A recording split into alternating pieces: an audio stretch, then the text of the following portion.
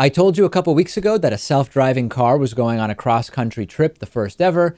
The trip has been completed by GM spin off Delphi Automotive. They completed a 3,500 mile journey across the US from San Francisco to New York. A lot of the things we've been talking about, Lewis, that were the limits of self driving cars were tested during this trip. This included the longest automated drive ever. This included instantaneous need to make quick decisions, stopping and then proceeding at a four way stop, timing highway merges, calculating safe maneuvers around bicyclists, and even a variety of weather conditions, although not blizzard like uh, sleet and ice on a hill while pedestrians are shoveling their cars. So that specific scenario was still not tested. Uh, but we're showing video of this here, and you will see that the car is indeed driving itself. There was an operator in the vehicle, could have taken over control at any time.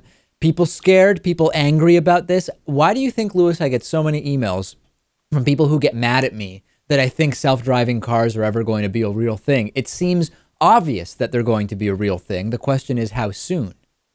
I guess these are just people who love their cars. I don't know what else to say about that. I'm, I'm glad this was a success you know what I'm thinking now? I'm thinking that there could be a lot of uh, a lot of accidents and many problems with drivers who are so distracted that the car next to them has nobody in it that uh, that, that something goes wrong. No one in the driver's seat, you mean? Yeah, right. And uh, and I think that could be a problem. But anyway, yeah, th- this is the future, and um, this is a great experiment. Think for a second. If you have 100 auto drive cars on the road for one year, that would be 100 years of driving experience, which is more than any human on earth currently has.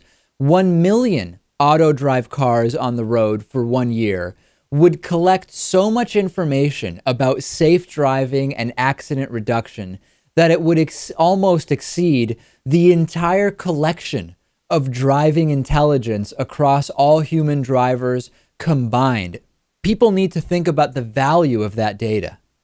Well, yes, but I wouldn't. Uh, I wouldn't equate every bit of data to a, you know say it's equal to the amount of time that those cars are on the road because these aren't learning machines, at least not yet.